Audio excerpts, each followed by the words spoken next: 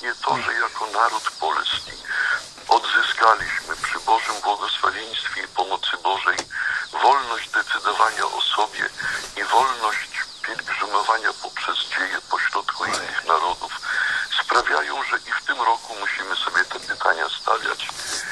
I stawiając pytania jednocześnie po Bożemu i teologicznie, ale też i z mądrością społeczną, tych nowych rozwiązań uczyć się na dzisiaj aby były równie owocne i dla naszego pokolenia, i dla pokoleń, które przyjdą po nas. Gdy mówimy o drogach Ducha Świętego, to są to przede wszystkim drogi, które pomagają nam rozpoznać, kim my sami jesteśmy jako ludzie, kim jesteśmy wobec Pana Boga i kim jest Pan Bóg dla nas. Bo nikt nie może bez pomocy Ducha Świętego powiedzieć Panu,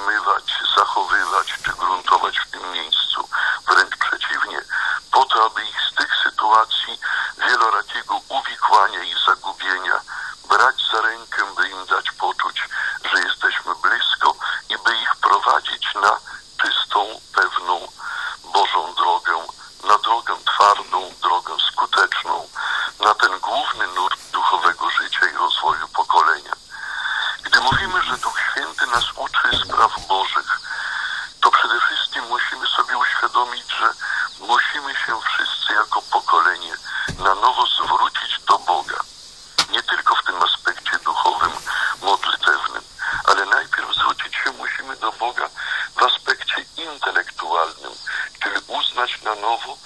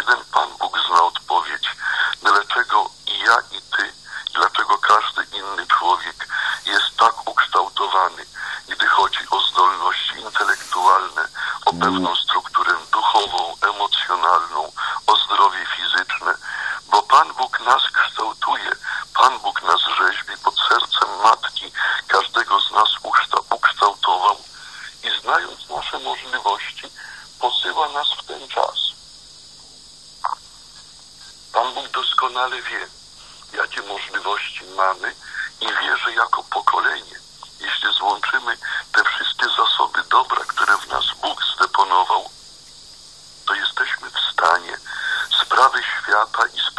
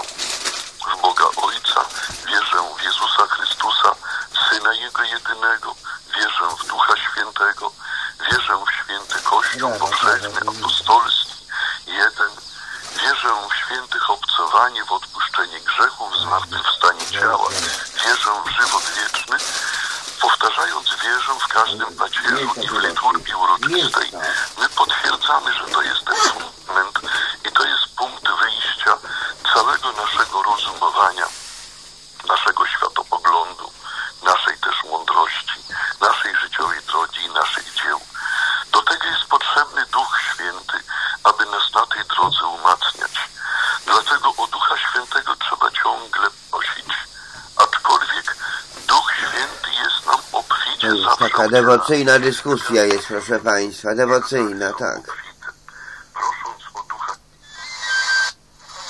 I 9 stopni lokalnie na Dolnym Śląsku. 9 stopni, no. Polskie Radio 9 stopni. Słowem wszystko. Prawie 6 minut po godzinie 5. Powtórka programu.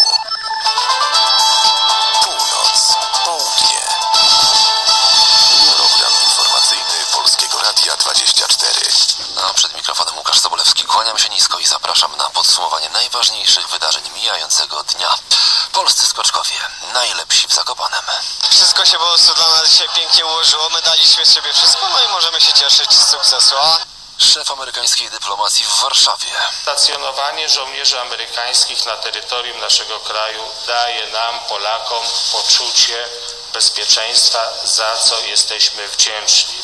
Ważne decyzje Rady Politycznej PiS.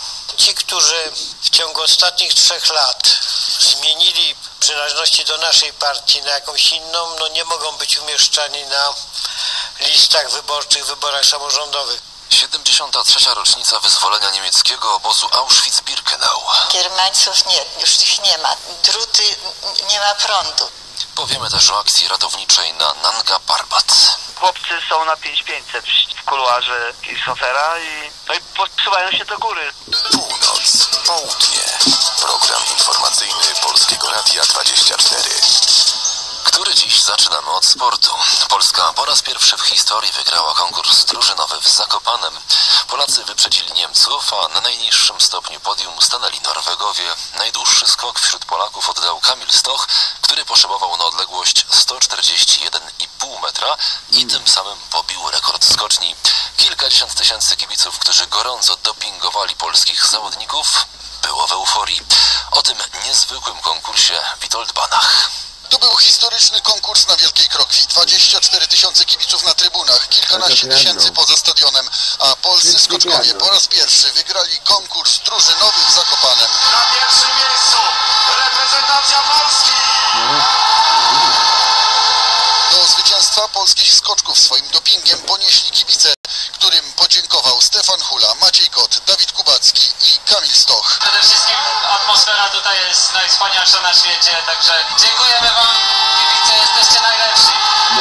Kubacki, Kamil Stoch. skakało się fantastycznie, stworzyliście wspaniałą scenę, za którą dziękujemy. Wierzę się, że odpłaciliśmy tak dalekimi skokami, w końcu pierwszym zwycięstwem tutaj zakopamy, także to jest fantastyczny dzień dla nas wszystkich. Dziękujemy bardzo. Tutaj wrażeniem byli kibice, którzy dawali tutaj super atmosferę. Za to Wam szczerze dziękuję. Myślę, że nie ma tutaj co dużo gadać. e, Lepiej jest iść i skoczyć, przynajmniej w moim wypadku. Dlatego dzięki wielkie Wam za dzisiaj. No i do jutra. Drodzy Państwo, reprezentacja Polski! Konkursie kibice szaleli z radości. Rewelacja Polska to jest to! Polska biało-czerwoni! Wspaniałym, jesteśmy wdzięczni naszym skoczkom. No frunęli. Jesteśmy happy, happy. Dziękujemy przede wszystkim Kamilowi. Naprawdę super, emocje ogromne, no i radość wielka, że nasi wygrali, super. Mamy gwiazdorów i mamy to, to co chcieliśmy osiągnąć. Najwyższe podium. O jakie emocje! Wspaniałe! Pierwszy raz jesteśmy na skokach. Przepięknie. Pierwszy, ale nie ostatni. Na 100%. Kamil Stoch skokiem na odległość 141,5 metra ustanowił rekord niedawno przebudowanej Wielkiej Krokwi. Lider naszej drużyny podkreślał, że był to dla niego wyjątkowy konkurs. Pięknie się to wszystko dla nas ułożyło od samego początku. Dziękuję swoim kolegom z drużyny za wspaniałą postawę, świetne skoki. Radości z powrotu do dobrych skoków nie krył również Dziękuję Maciej Kot. kolegom Bardzo szczęśliwy, można powiedzieć podwójnie, bo po pierwsze Jestem wróciłem do składu drużyny, z czego bardzo się cieszę i przede wszystkim Dziękuję. podziękowania należą się wszystkim Dziękuję. kibicom za stworzenie tak wspaniałej atmosfery, bo to Dziękuję. wielka radość i duma skakać tutaj przed taką publicznością. A Stefan Hula podkreślał, że był to dla niego bardzo wzruszający konkurs. Czuję się naprawdę bardzo szczęśliwy, znowu jest to dla mnie nowe doświadczenie, bo po raz Tak, pierwszy tak, jestem w drużynie chyba. na najwyższym stopniu podium, także znowu muszę ochłonąć i pewnie to do mnie dotrze. Jeszcze tutaj w Zakopanem można powiedzieć, że w domu. A jutro konkurs indywidualny. Wystartuje w nim 10 Polaków. Wśród nich lider Pucharu Świata Kamil Stoch, który według kibiców będzie bezkonkurencyjny. Polskie Radio 24. Północ, południe. Polska i Stany Zjednoczone sprzeciwiają się Nord Stream 2. Między innymi o tej kwestii rozmawiali w Warszawie sekretarz stanu USA Rex Tillerson, premier Mateusz Morawiecki i szef polskiej dyplomacji Jacek Czaputowicz. Tillerson powiedział później na konferencji prasowej, że ten projekt zagraża bezpieczeństwu Europy. Bardzo cieszę się, że po raz pierwszy odwiedzam Polskę jako sekretarz stanu USA. Chciałbym podziękować panu premierowi Morawieckiemu, jak również ministrowi Czaputowiczowi za nasze rozmowy. Nasze spotkania były długie, nasze rozmowy bardzo owocne. Chciałbym pogratulować obydwu panom e, nowych stanowisk w nowym rządzie. Chciałbym także podziękować prezydentowi Andrzejowi Dudzie za czas, który poświęcił mi wczoraj. Nasze spotkanie było bardzo głębokie, bardzo owocne i produktywne. Polska, moim zdaniem, jak wszyscy wiedzą, jest wspaniałym demokratycznym sojusznikiem USA. Nasze więzi sięgają e, czasów e, amerykańskiej walki o niepodległość. Polscy żołnierze pomagali nam walczyć o naszą niepodległość. Nasze rozmowy opierają się o to, o czym w ubiegłym roku mówił prezydent Trump w czasie wizyty w Warszawie. Mówiliśmy o kilku kwestiach bilateralnych, jak również tematach dotyczących kwestii regionalnych, jak również globalnych. Wszyscy doceniamy i zgadzamy się, że bezpieczeństwo jest zawsze sercem relacji zagranicznych USA, także z Polską. Doceniamy współpracę i wsparcie Polski w działaniach dotyczących Korei Północnej i rozwijania broni nuklearnej przez ten kraj. Polska nieustannie sprzeciwia się działaniom koreańskiego reżimu, jak i my. Razem z USA Polska w ramach NATO wzmacnia zdolność ostraszania i obronności sojuszu. Doceniamy fakt, że Polska osiągnęła już próg 2% PKB wydatkowania na obronność. Doceniam także fakt, że przekraczają Państwo ten próg. Doceniamy inwestycje czynione na rzecz architektury obronnej. Z to na korzyść Polski i NATO. Współpracujemy w zakresie walki z dezinformacją i cyberprzestępczością. Wspieramy także walkę o suwerenność Ukrainy. Polska, jak również USA sprzeciwia się Nord Streamowi 2. Uważamy, że ta inicjatywa podminuje stabilność i bezpieczeństwo energetyczne Europy. Dla Rosji to będzie kolejne narzędzie, aby upolitycznić kwestie energetyki.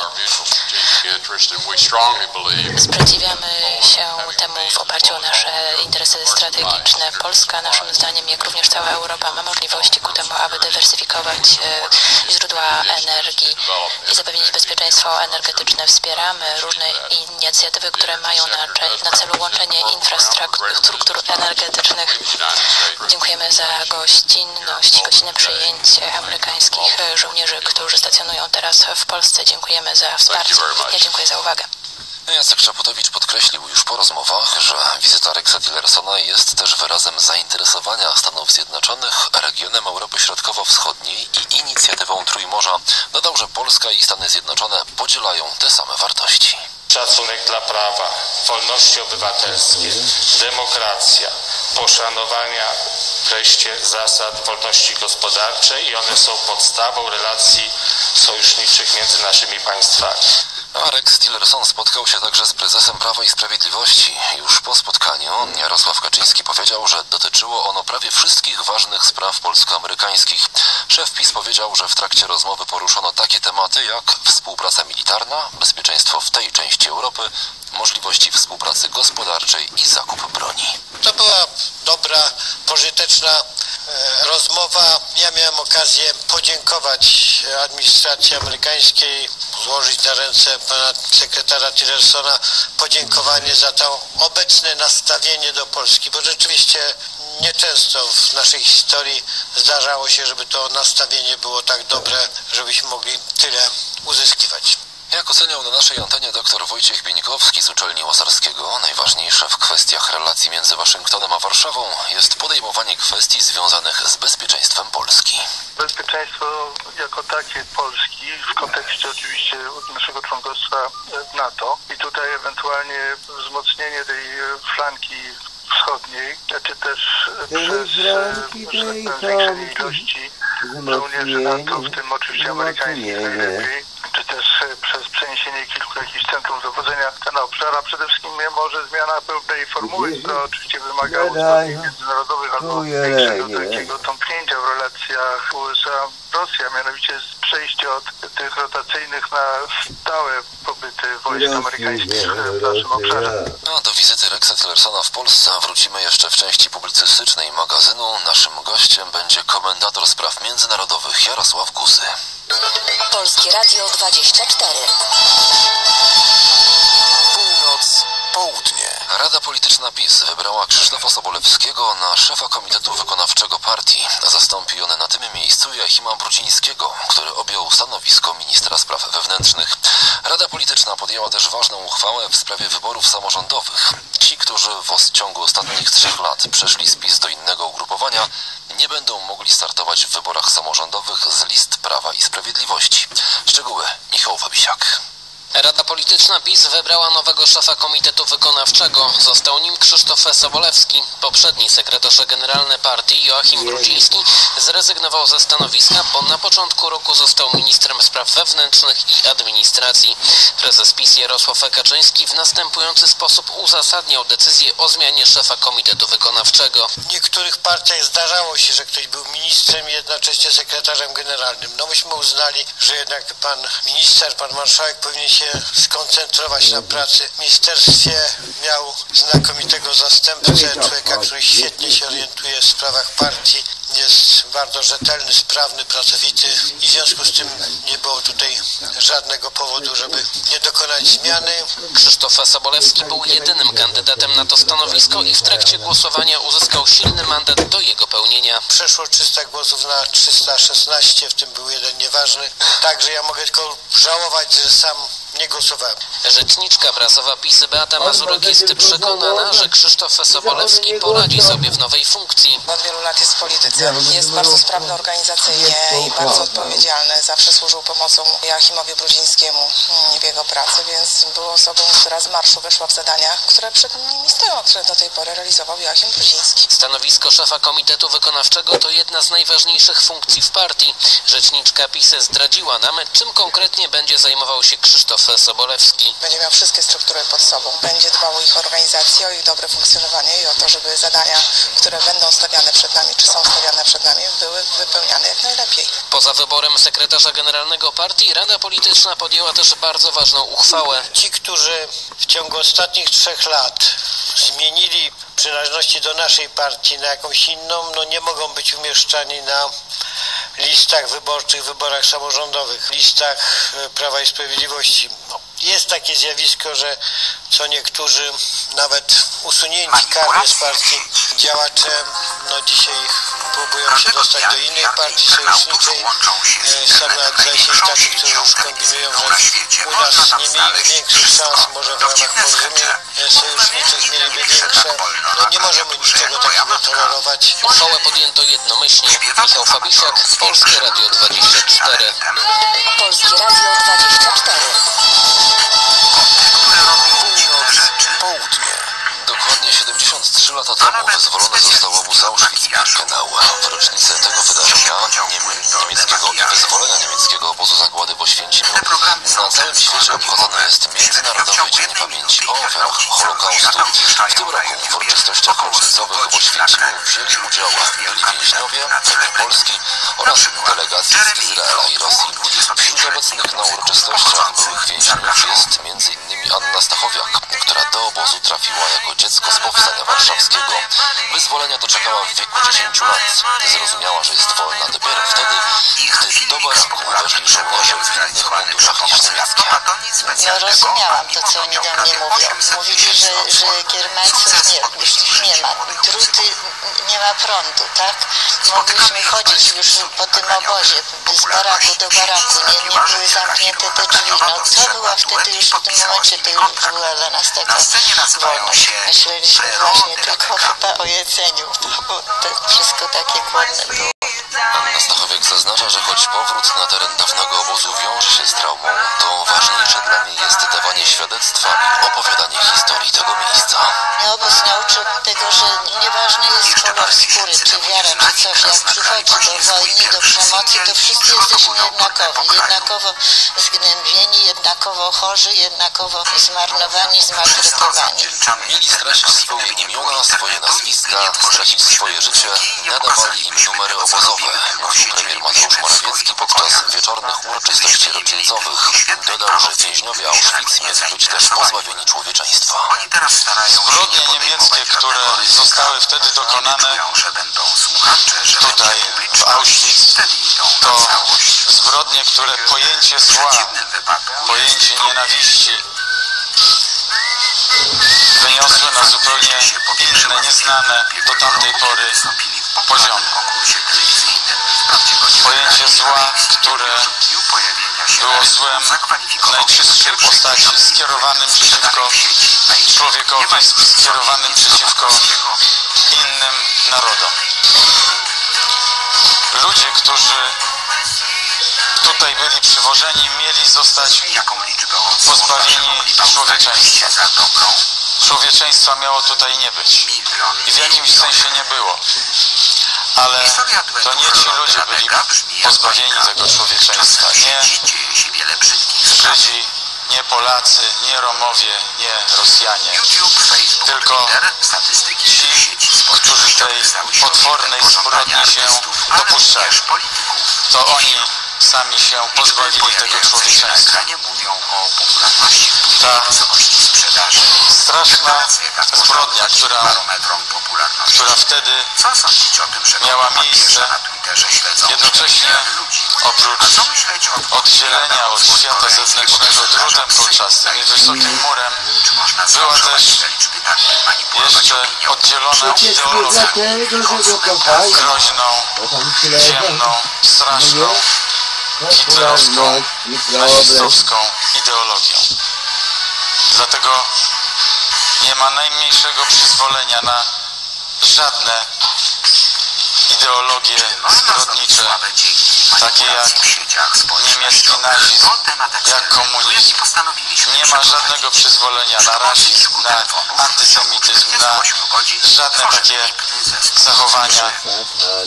Dlatego będziemy pamiętać o wszystkich tych mechanizmach śmierci, które wtedy były stosowane, bo tę pamięć jesteśmy winni. Dziś żyjącym, ale jeszcze bardziej tę pamięć jesteśmy winni wszystkim strasznym ofiarom tamtych czasów. Specjalnym oświadczeniu hołd ofiarom Holokaustu oddał Donald Trump. Amerykański prezydent podkreślił, że nie można dopuścić, by podobny horror przeciwko człowieczeństwu kiedykolwiek się powtórzył. W oświadczeniu rozesłanym przez Biały Dom z okazji Międzynarodowego Dnia Pamięci o Holokauście Auschwitz nazwano nazistowskim obozem w Polsce. Prezydent Donald Trump oświadczył, że Dzień Pamięci o Holokauście jest okazją, by przypomnieć o zagładzie przez nazistów 6 milionów Żydów. W obozach śmierci pod ich nieludzkimi rządami naziści również uwięzili i zamordowali miliony Słowian, Romów, gejów, niepełnosprawnych, księży, przywódców religijnych oraz innych, którzy odważnie sprzeciwiali się ich brutalnej władzy, napisał w oświadczeniu prezydent Stanów Zjednoczonych. Donald Trump dodał, że losy ofiar Holokaustu powinny inspirować do walki z nietolerancją, w tym antysemityzmem, fanatyzmem i dyskryminacją. Musimy pozostać czujni, by chronić fundamentalne prawa i godność każdej istoty ludzkiej, stwierdził prezydent Stanów Zjednoczonych. W rozesłanym przez Biały Dom oświadczeniu jest mowa o 73. rocznicy wyzwolenia Auschwitz-Birkenau, które określono mianem nazistowskiego obozu śmierci w Polsce. W oświadczeniu nie pada słowo Niemcy i nie ma informacji o tym, że nasz kraj znajdował się pod okupacją. Na stronie internetowej Białego Domu pojawiła się wersja skorygowana ze sformułowaniem w okupowanej przez nazistów Polsce. Jednak do amerykańskich i światowych mediów trafiło oświadczenie w wersji pierwotnej. Z Waszyngtonu Marek Wołkuski, Polskie Radio. W związku z Międzynarodowym Dniem Pamięci o ofiarach Holokaustu Angela Merkel w nagraniu wideo zapowiada walkę z ciągle obecnym antysemityzmem. Zdaniem niemieckiej kanclerz, aby skutecznie walczyć z antysemityzmem, ksenofobią i nietolerancją, konieczna jest lepsza edukacja. W tym kontekście Merkel zapowiada zmiany w niemieckim systemie edukacyjnym. Zmniejsza się liczba osób, które przeżyły Holokaust i dlatego musimy wzmocnić miejsca pamięci i w pewnym zakresie zmienić naszą koncepcję ich prezentowania. Musimy się do tego przygotować. Dlatego jest bardzo ważne, aby zarejestrować głosy, głosy, które później byłyby wykorzystywane w edukacji.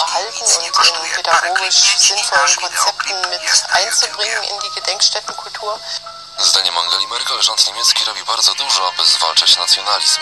Jest jednak bardzo ważne, aby świadectwo o tamtych wydarzeniach w przyszłości dawali poprzez nagrania ich głosu także ci, którzy byli świadkami tych czasów. Kanclerz podkreśliła, że Bundestag pamięta również o innych grupach ofiar. Przypomniała o tablicach w Bundestagu poświęconych pracownikom przymusowym i pomordowanym Sinti i Romom. Nie wspomniała jednak o jakimkolwiek pomniku upamiętniającym polskie ofiary II wojny światowej. Zapewniła w opublikowanym dziś wideo, że rząd federalny angażuje się w wiele projektów, których zadaniem jest walka z antysemityzmem. Między innymi zmieniany jest program nauczania historii w niemieckich szkołach, co ma szczególne znaczenie dla islamskich dzieci, które mogą nauczyć się, że antysemityzm jest złem. Antisemityzm Antyzm jest obecny w naszym społeczeństwie. I nie ma z integracji nic wspólnego. U nas obowiązuje tolerancja, jesteśmy otwarci na bazie naszych wartości.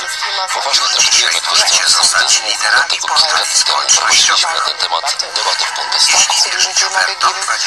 Angela Merkel poinformowała, że nowy niemiecki rząd stworzy stanowisko pełnomocnika do spraw antysemityzmu. Polskie Radio 24. Ministerstwo Spraw Zagranicznych zapewnia, że proces legislacyjny nowelizacji ustawy o IPN zakazującej m.in. propagowanie banderyzmu nie został zakończony. Informacja resortu ma związek z komunikatem MSZ Ukrainy, które wyraziło zaniepokojenie tą ustawą. Wiceminister kultury Jarosław Selin mówił w radiowej trójce, że jego resort wraz z MSZ przygotowuje się do spotkania w marcu z premierem Ukrainy. Będziemy o tych sprawach trudnych relacji historycznych, czy ekshumacjach, czy upamiętnień rozmawiać. Spróbujemy te sprawy odblokować. Oczywiście jest tutaj, jeśli chodzi o narrację historyczną, interpretację naszej historii, daleko idąca rozbieżność, ale musimy jednak bardzo stanowczo i konsekwentnie budować te relacje z Ukrainą w tej dziedzinie na prawdzie, po prostu na gruncie prawdy i od tego nie uciekać. Jednak e, naszych e, partnerów, braci ukraińskich przyzwyczajać do tego, że oni do tej prawdy też muszą dojrzeć. A szef gabinetu prezydenta Krzysztof Szczerski powiedział, że Andrzej Duda do ustawy odniesie się dopiero po zakończeniu jej procedowania. W polityce, zwłaszcza zagranicznej, zwłaszcza w tak newralgicznym dla bezpieczeństwa Polski obszarze jak pomiędzy Warszawą a Moskwą, trzeba starać się prowadzić politykę bez emocji. Dlatego, że jeśli nakręcimy emocje i wywołamy społeczne, społeczne zapotrzebowanie na, na coraz, coraz ostrzejsze emocje, to wtedy e, możemy stracić więcej niż zyskujemy. Zapewnia, że intencją wnioskodawców ustawy jest przeciwdziałanie negowaniu lub umniejszaniu odpowiedzialności sprawców zbrodni dokonywanych przez formacje kolaborujące z trzecią Rzeszą Niemiecką. Odnosi się jedynie wcześniej wbrew faktom zaprzeczonych zbrodnią. MSZ zaznacza, że działalność naukowa i artystyczna. Nie stanowi przestępstwa w rozumieniu omawianej ustawy. Strona polska potwierdza swoją wolę budowania strategicznego partnerstwa z Ukrainą, jednakże, co wielokrotnie podkreślaliśmy, partnerstwo to musi być oparte na prawdzie, czytamy w komunikacie MSZ. Polskie Radio 24. Północ, południe. A już teraz w magazynie dramat na Nanga Parbat. Ekipa ratunkowa na Nanga Parbat właśnie z każdą godziną jest coraz wyżej. Specjaliści są zgodni, tempo jest bardzo szybkie, mimo że w Pakistanie jest noc. Jako pierwsi w górę wyruszyli Adam Bielecki i Denis Urubko. Mówi Polskiemu Radiu Krzysztof Bielecki, kierownik wyprawy na K2. Chłopcy są na 5500 w kuluarze i szofera i no podsuwają się do góry, że pogoda jest w miarę dobra, także pozwala im się śpinać. No i mam nadzieję, że gdzieś tam rano skoczą do Gniazda Orłów, a w następnie po paru godzinach spotkają rewol. No trochę wiatr się może wymagać, ale myślimy tutaj, że nie na tyle, żeby y, udaremnił i ścinanie do góry. Szmajska z Francji jest na wysokości około 6700 metrów. Przekazuje informacje przez telefon satelitarny. Wyżej, bo na wysokości około 7200 metrów pozostał Tomasz Mackiewicz. Prawdopodobnie cierpi na ślepotę śnieżną oraz chorobę wysokościową. Nikt nie ma kontaktu z Tomkiem, więc nie wiemy. Elizabeth natomiast wiemy to, że jest w dobrym stanie psychicznym, jest oczywiście i odmrożona, i zmęczona, i nie, nie piła już dawno, ale, ale jest mocna i jest wolno, wolno, ale się posuwa na dół. A czteroosobowy zespół ratowniczy tworzą uczestnicy Narodowej Wyprawy na K2. Denis Łowko, Adam Bielecki, Jarosław Podor i Piotr Tomala zostali przetransportowani śmigłowcami spod bazy na K2 na zbocza Nanga Parbat. Mają ze sobą tlen, lekarstwa, żywność, namioty, liny oraz pozostały sprzęt niezbędny do przeprowadzenia akcji ratowniczej. Polskie Radio 24. Słowem wszystko. O sporcie Renata Polscy skoczkowie narciarscy Maciej Kot, Stefan Hula, Dawid, Dawid Kubacki i Kamil Stoch bezapelacyjnie ze sporą przewagą nad rywalami zwyciężyli w drużynowym konkursie Pucharu Świata w Zakopanem. To trzecia wygrana polskich skoczków w drużynie, ale po raz pierwszy w historii w Zakopanem. Drugie miejsce zajęli Niemcy, a trzecie Norwegowie. Kamil Stoch w drugiej serii ustanowił rekord zmodernizowanej wielkiej krokwi, skacząc 141,5 metra. Dziękował wszystkim. Dziękuję swoim kolegom drużyny za wspaniałą postawę, świetne skoki. Dziękuję też sztabowi szkoleniowemu za to, co oni dla nas robią. Dziękuję żydowskim kibicom za wspaniałą atmosferę, no i organizatorom za przygotowanie skoczni i też za całą oprawę. Niesamowity konkurs. Walnie do zwycięstwa przyczynił się Stefan Hula, skacząc na wielkiej krokwi 136 i 135,5 metra. To indywidualnie trzeci wynik dnia. Czuję się naprawdę bardzo szczęśliwy. Znowu jest to dla mnie nowe doświadczenie, bo po raz pierwszy jestem w drużynie na najwyższym stopniu podium. Myślałem, że opłonąć i pewnie to do mnie dotrze. Sprawiliśmy największą radość zwycięstwo. Byliśmy wspierani przez tak wspaniałych kibiców. Jutro konkurs indywidualny Pucharu Świata w Zakopanem. O tak dzisiaj rozbudzonych nadziejach niewielu zachowuje olimpijski spokój. Robert Lewandowski zdobył bramkę i zaliczył asystę, a Bayern Monachium, w którym występuje, pokonał Hoffenheim 4 do 2 w 20. kolejce niemieckiej ekstraklasy. Polski piłkarz strzelił 18 goli w tym sezonie Bundesligi i zdecydowanie prowadzi w klasyfikacji najlepszych strzelców. Ewa Swoboda wygrała bieg na 60 metrów w czasie 7,27 sekundy podczas halowego meetingu we Francji. Najlepsza polska sprinterka po raz drugi pobiegła szybciej od minimum Polskiego Związku Lekkoatletyki na Mistrzostwa Świata, które wynosi 7,30 sekundy. Mistrzowie Polski siatkarze Zaksy Kędzierzy-Koźle nie zdobędą w tym roku Pucharu Polski, bowiem w półfinale turnieju rozgrywanego we Wrocławiu przegrali z Reflem Gdańsk 1 do 3. Gdańszczanie w finale będą walczyć z PGS Krąbełchatów, która stosunkowo łatwo pokonała Oniko Warszawa 3 do 0. MKS Perła Lublin bardzo wysoko zwyciężyła portugalskie Marinię Grande aż 36 do 12 w pierwszym meczu 1-8 finału Challenge Cup piłkarek ręcznych. Najwięcej bramek dla Lublinianek 10 zdobyła Małgorzata Rola. Rewanż zostanie rozegrany jutro. Jak wszędzie na świecie, studenci informatyki uczą się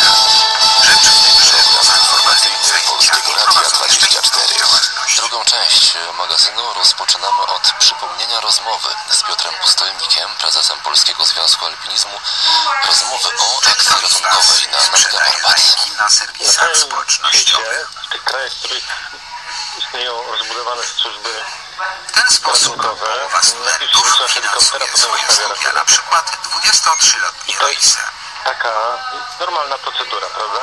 I, I najpierw się ratuje człowieka, a potem się mówi, kolegom musi Wieczorem po zapłacić. zajęciach rozumiem się tej pokazać sytuacji. nam, Ona jak jest odbywa oczywiście się tworzenie fałszywej popularności. Tak jest Royce e, trzypokojowe mieszkanie z zawsze. ośmioma innymi Ale studentami zawsze informatyki. sobie wyobrażałem, że Wszyscy są jest kibicami sytuacja narodowego sportu, czyli krykieta. super ekstraordynaryjna, a z taką mamy teraz do czynienia, to nikt nie patrzy na żadne zobowiązania, tylko najpierw ratuje się człowieka. Szkoda, że dzisiaj Dlatego to odbiór powiedziałem, telewizji co nie jest powiedziałem. zbyt dobry. No to w takim razie mecz Bangladeszu druga kwestia. No wiemy, że pierwszy mecz przez te kłopoty finansowe ten śmigłowiec wyleciał o wiele później niż mógł wylecieć. To oczywiście spowodowało wielogodzinne opóźnienie. To po pierwsze. Druga zła informacja to taka, no, e, czytając te wpisy między innymi pana Adama Bieleckiego, zanim jeszcze e, helikopter ich wysadził, pisał o tym, że liczą na to, że e, helikopter będzie w stanie ich zostawić na wysokości przejść być może nawet na wysokości 6,5 tysiąca metrów. E, Skończyło się na 4850 metrach. To jest kwestia pogody, ta, ta gigantyczna różnica? Nie, nie, ja myślę, że, że ja, ja, ja w tej chwili nie powstaje telewizja Adam Dura na Zeparwa, bo jeśli nie był to, to mogło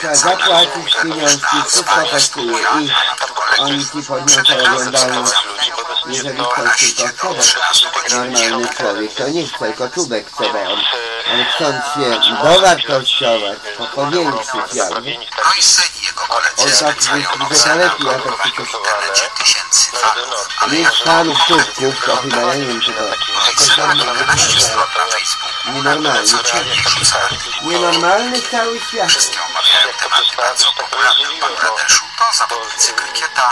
znając, znając geografię bazy pod nami Leoparda, to Oraz płasko po prostu przy tej bazie. Jego strony mają w kraju tysiące Nie abonentów. wiem skąd, skąd tam sobie e, tak, e, tak myślał, że, że, że, że, tak mają w internecie sieć 3 milionów Byłoby super, bo znajomych wtedy i po mogę prostu wytworzyć załatwili te życzenie 10, do- do 20, Adonai, nawet ale, 100 tysięcy fanów. Ale to chyba nie właśnie do tych 3 milionów bengalskich internautów informacja, bo to, jest, to są akurat informacje, które no, w jakiejś mierze pozwalają nam wierzyć w to, że, że wszystko skończy się być może szczęśliwie. Mówię oczywiście o tempie, w jakim polscy himalaiści rozpoczęli wspomnianie, bo no, czytając te doniesienia, wszyscy łapią się za głowę i zastanawiają się, jak można w tak szybkim tempie, przy takiej pogodzie wspinać się po takim szczycie. 700 metrów pionowej ściany w 3 godziny. To są rzeczywiście wyniki, które, które no... No to budzi szacunek, absolutnie. Ktoś klika na like.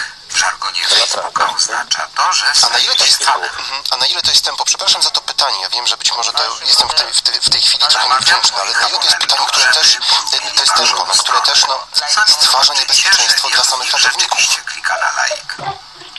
Roysa jego sposób jest Bengalczycy klikają na like. Bo wszystko im się podoba i sport, i motocykle, i części zamienne do motocykli. W ciągu zaledwie kilku godzin ponad tysiąc Bengalczyków polubiło nasz zespół na jego stronie na Facebooku. Te kliknięcia dają Roysowi i jego współlokatorom 200 dolarów miesięcznie na głowę. Trzy razy więcej niż średnia płaca Mam nadzieję, że, że gdzieś tam nocy albo W tej chwili mamy dziewięciu klientów z zagranicy. jedną, Cały czas dla nich pracuje. To są ludzie ze Stanów, z Anglii, z Australii. Gdybyśmy chcieli teraz porozmawiać o, o szansach na dotarcie do y, Tomasza Mackiewicza. Ja nie pytam pana o to, co... Znaczy, nie, nie zadam panu tego pytania, na które pan zapewne i tak nie chciałby odpowiedzieć, więc nawet nie będę tutaj go formułował. Ale jeżeli nasi wspinacze, nasi ratownicy dotrą już do francuskiej, to jeżeli nic złego się nie stanie, mówię oczywiście o, o pogodzie, mówię o jakichś innych przeciwnościach losu, to ile jeszcze godzin może im zająć dotarcie do Tomasza Mackiewicza? kilkaset metrów wyżej, więc trzeba liczyć, że ten teren tam już po, powyżej e, to, to, nie jest, to nie jest tak, tak stromie jak dojście do Rudego Gniazda, czyli do obozu drugiego. A myślę, że jeszcze potrzebują no tak 4 godziny od Adeli do, do, do chyba około 4 godzin, ja bym tak szacował, bo to tak jak Pan mówi, no, to tempo na początku jest fantastyczne, no, ale potem będą też odczuwali zmęczenie, więc co oczekiwać, że będą super do tej pory. Kolejne pytanie, no pytanie od laika, więc proszę się nie zdziwić, czy w takich warunkach, jakie tam w tej chwili panują, tam już w tej chwili noc, wspinanie jest w ogóle możliwe na takiej wysokości? Tak, tak, jest możliwe. W nocy, w nocy się można wspinać, bardziej, że wie pan, to nie jest chodzenie po nieznanym terenie. Tam e, przez, e, przez ten teren, przez Wielkim Hoszera w tej chwili no, w większości on jest zaporyczowany przez e, jesienną wyprawę Alice Bari, więc, więc no, no, całe szczęście, że jest zaporyczowany, bo w tej sytuacji powiedzmy dojście do, do, do poszkodowanych e, najłatwiejsze, przede wszystkim bezpieczniejsze, więc, dlatego nawet jeśli idą w nocy, no to, to, to jest to i, i możliwe i, i w miarę, w miarę spokojne. No, zakładając tylko ten pozytywny scenariusz, o żadnych innych nie chcemy myśleć, e, jeżeli ekipa dotrze do Tomasza Mackiewicza, ile mniej więcej czasu może zająć zejście? No bo wiemy o tym, że Tomasz Mackiewicz zapewne będzie wymagał pomocy, nie widzi, ponieważ no, już informował dużo, dużo wcześniej o tym, że ma bardzo poważne kłopoty ze wzrokiem, to będzie zapewne mocno spowalniać marsz ekipy.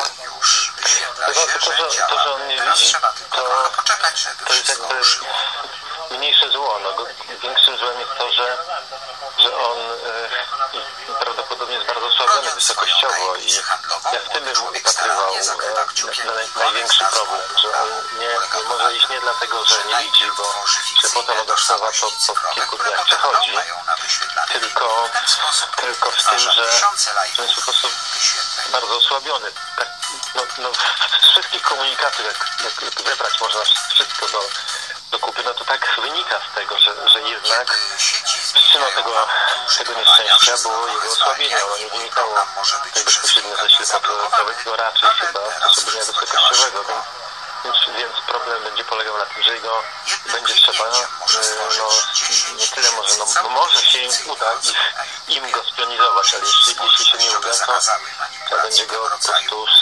spuszczać na dół wzdłuż nim poręczowy, a to będzie dosyć powolna operacja. Pan Piotr Pustelnik, prezes Polskiego Związku Alpinizmu. A rozmawiał Krzysztof Grzybowski. Północ, południe. Program informacyjny Polskiego Radia 24. A już teraz porozmawiamy o tym, co dziś działo się za naszą południową granicą, konkretnie w Czechach. Dlatego przenosimy się do Pragi. Tam Magdalena Skajewska. Witaj Magdo, dobry wieczór. Mm, Za nami druga tura wyborów prezydenckich e, u naszych południowych sąsiadów. E, Milosz Zeman, e, przynajmniej według tych informacji, e, z której ja posiadam, wygrał tę drugą turę wyborów prezydenckich. E, Otrzymał 51,4% głosów. Jego przeciwnik Jerzy Drachosz e, dostał 48,6% głosów. Powiedz, czy to są już ostateczne e, wyniki głosowania i co ta decyzja czeskiego suwerena mm, oznacza, jakie są jej polityczne konsekwencje zarówno dla samych Czechów, jak i dla Polski, wszystkich sąsiadów tego kraju i Europy.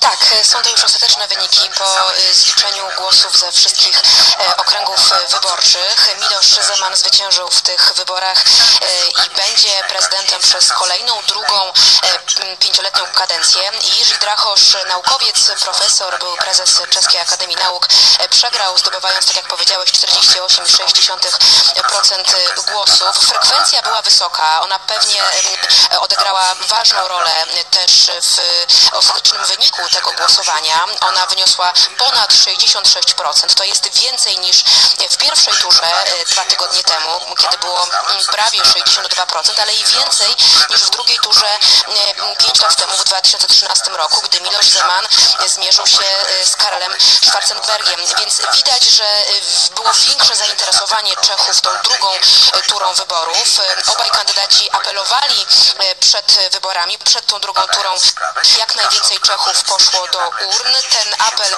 został wysłuchany, ale w większości został wysłuchany jednak przez zwolenników Milosza Zemana. Pytasz, jakie są konsekwencje? E, No przede wszystkim możemy spodziewać się chyba kontynuacji e, tego kursu, jaki obrał e, Miloš Zeman podczas swojej pierwszej kadencji, podczas pięciu lat. On jest znakomicie znany na czeskiej scenie politycznej. Jest chyba jednym z najbardziej znanych polityków na czeskiej scenie politycznej, co też odegrało ważną rolę, ponieważ zwłaszcza wśród Czechów na prowincji, w mniejszych, biedniejszych miastach Zeman właściwie e, czasem jest jedynym politykiem, który jest im e, znany i też dlatego na niego e, głosują. To jest jeden oczywiście z powodów, e, z wielu powodów.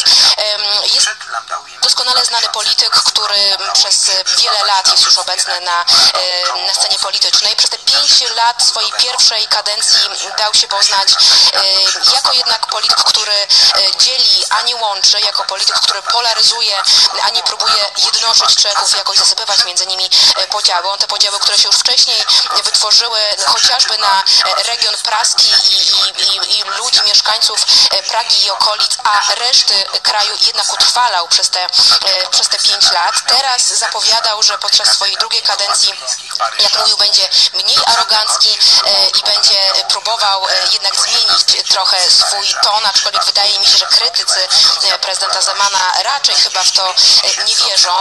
Jeżeli chodzi o jego poglądy na politykę zagraniczną, o tym mówiliśmy wielokrotnie, on jest znany z takiego mm, bardzo prorosyjskiego e, stanowiska. On bardzo chętnie spotyka się z prezydentem Władimirem Putinem. E, Jeżeli chodzi o unijne sankcje wobec Rosji, bardzo je krytykuje. Uważa, że powinny zostać e, przerwane e, czy też zarzucone i, i też pewnie ten kurs będzie, e, będzie, będzie kontynuował, w przeciwieństwie do Jerzego Drachosza, który zapowiadał, że jednak będzie chciał skierować Czechy bardziej w, w, ku aktywnej roli w Unii Europejskiej. No ale tak jak powiedzieliśmy, on przegrał.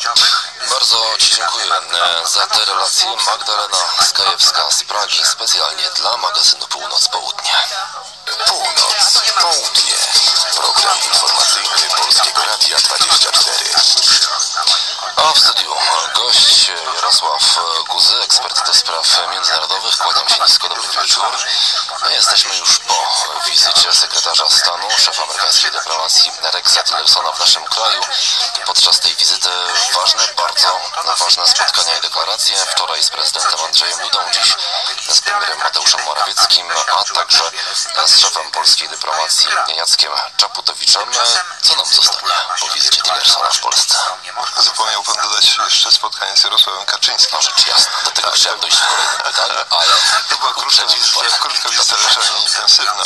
W gruncie rzeczy tematy się powtarzały, ale chyba najpełniej można określić, bo akcenty były rozłożone różnie w różnych, na różnych spotkaniach. Prawdopodobnie znamy jej treść, ich treść tylko z komentarzy ale w gruncie rzeczy dotyczyły całości relacji polsko-amerykańskich. Był, ta wizyta była potwierdzeniem, że te relacje właśnie są wielostronne, są intensywne i mają stały charakter. Ale tak można to określić po niecałym roku od wizyty prezydenta Trumpa, właściwie niewiele ponad pół roku. Ta intensywność jest zaskakująca. Dawno nie mieliśmy tak dobrych relacji z Stanami Zjednoczonymi. To dla Polski jest niezwykle cenne, zarówno jeśli chodzi o poszczególne elementy uzgodnień, pola współpracy, ale jeśli chodzi o całość pozycję polityczną Polski, która przecież zmaga się również z problemami na arenie międzynarodowej, zwłaszcza w Unii Europejskiej. A tutaj sojusznik w postaci Stanów Zjednoczonych jest niezwykle cenny. Bezpieczeństwo e, gazowe, bezpieczeństwo energetyczne i współpraca militarna, czy Pana zdaniem te dwa tematy e, były tymi najważniejszymi kwestiami, które omawiano w spotkaniach podczas spotkań polityków? Na pewno to były tematy, które były omawiane na wszystkich spotkaniach. Polityka bezpieczeństwa generalnie, współpraca wojskowa i to nie dotyczy tylko zakupu uzbrojenia, które są jednym z elementów tej współpracy. Podstawowa rzecz to jest wzmocnienie bezpieczeństwa Polski, co już jest realizowane ze wsparciem amerykańskim. Oczywiście podstawowo, jeśli chodzi o, o oparcie w decyzjach NATO, ale również jeśli chodzi o decyzje same amerykańskie. Mówię o brygadzie, która amerykańskiej, która jest decyzją po prostu amerykańskiego rządu. Ta decyzja jest podtrzymana, co więcej rysuje się możliwość wzmocnienia tej obecności, a zwłaszcza podniesienia poziomu tej obecności ze względu na możliwość lokalizacji jednego z nowych dowództw NATO w Europie, właśnie w Polsce, na wschodniej flance NATO. Jaki jest bilans polityczny, gospodarczy, militarny tej naszej współpracy ze Stanami Zjednoczonymi? Czy my działamy tutaj na równych partnerskich właśnie zasadach? Znaczy zależy, co się rozumie pod słowem partnerski. Oczywiście musimy zdawać sobie sprawę, że w relacjach naszych ze Stanami Zjednoczonymi w szczególności, ale również z innymi krajami typu Niemcy istnieje asymetria. Pytanie, czy asymetria wyklucza partnerstwo? No i właśnie tu jest, tu jest ten cienki problem. Wydaje się, że ta relacja ze Stanami Zjednoczonymi to jest rodzaj partnerstwa przy całej asymetrii. Polega to na tym, że jest po pierwsze wspólnota interesów, z jednej strony, jak Polska uznaje rolę Stanów Zjednoczonych, wiodącą na pewno w Sojuszu Atlantyckim jako globalnego supermocarstwa, a pod tym względem dała zresztą dowody, uczestnicząc w inicjatywach amerykańskich, gdzie niekoniecznie my mieliśmy własne interesy, ale oczekując zamian rewanżu. I taki rewanż jest. Tutaj wspomnieliśmy o tej współpracy energetycznej. To jest rodzaj interesu handlowego i tutaj są kontrakty gazowe, jest możliwość rozwoju tej współpracy, jest poczucie bezpieczeństwa, że te dostawy w momencie, kiedy zwłaszcza zostanie rozbudowany terminal w Świnoujściu, te dostawy będą gwarancją bezpieczeństwa i również gwarancją odpowiednio niskich cen gazu, bo przecież szantaż gazowy nie polegał tylko na włączeniu kurka, tylko na narzucaniu po prostu niezwykle wysokich cen, co odbijało się od razu na całej gospodarce. Jest szansa na niskie ceny, bo wiadomo, my potrzebujemy tej dywersyfikacji, no ale Amerykanie też na tym gazie chcą zarobić. Oczywiście, że tak, ale dla nas jest interesem, jeżeli są to ceny wolnorynkowe, bo jest konkurencja. Konkurencja wymusza po prostu obniżanie cen. My to widzieliśmy ostatnio na rynku ropy naftowej w bardzo istotny sposób, kiedy Rosjanie stracili gigantyczne sumy bo korzystali na zawyżonych cenach ropy. Okazało się, że w momencie, kiedy zostały uruchomione złoża roponośne łupkowe w Stanach Zjednoczonych i w Kanadzie, to wpłynęło od razu na cały rynek ropy i obniżyły się ceny. My na tym niezwykle korzystamy. Zresztą przestawiamy również nasze rafinerie na, na możliwość korzystania z różnych gatunków ropy, w tym właśnie tej ropy importowanej ze Stanów. Wiadomo, że jeżeli cena na rynku w Europie z innych źródeł, na przykład z szeryfu norweskiego będzie niższa, będziemy starać się uzyskać niższą cenę, ale czasami inne parametry kontraktu też rozstrzygają, na przykład stabilność dostaw, czy też pewne dodatkowe warunki, na których możemy e, ten gaz kupować. Mm, ale podstawowo to jest ta kwestia strategiczna dotycząca tego, że Amerykanie nam oferują jeszcze jedno źródło, czyli będziemy mieli co najmniej trzy źródła dostaw gazu. Rosyjskie oczywiście. Pytanie, czy po budowie Nord Stream 2, bo o tym jeszcze nie mówiliśmy, czy zamknięte zostaną, czy zamknięte zostaną gazociągi wyłącznie na Ukrainie, bo de facto przy tej przepustowości Nord Stream można będzie zamknąć gaz, gazociąg jamalski, z czego no, musimy zdawać sobie sprawę. Więc koncepcja, że Stany Zjednoczone wspierają nie tylko jako potencjalny dostawca gazu, ale jako partner strategiczny wspierający inicjatywę Trójmorza, która oparta jest przede wszystkim o inwestycje infrastrukturalne, a zwłaszcza w energetyce, to jest szalenie istotne, bo niezależnie od tego, że jest to projekt współpracy mieszczący się idealnie w pewnym modelu funkcjonującym w Unii Europejskiej, to widać z jakim dystansem jest traktowany przez same władze Unii i e, wiodące stolice. E, mówię o Paryżu i Berlinie. E, wschodnia Europa ciągle nie jest traktowana tak samo. Stany Zjednoczone są zainteresowane większym balansem w Europie i stąd e, przy wizycie Trumpa już to widzieliśmy, ale widzimy dalej w polityce amerykańskiej, że oni inwestują politycznie w tę część Europy. E, I to nie tylko z tego powodu, że mają swoje spory z Niemcami, na przykład jeśli chodzi o kwestie handlowe, czy z innymi krajami, czy z Unią Europejską jako całością.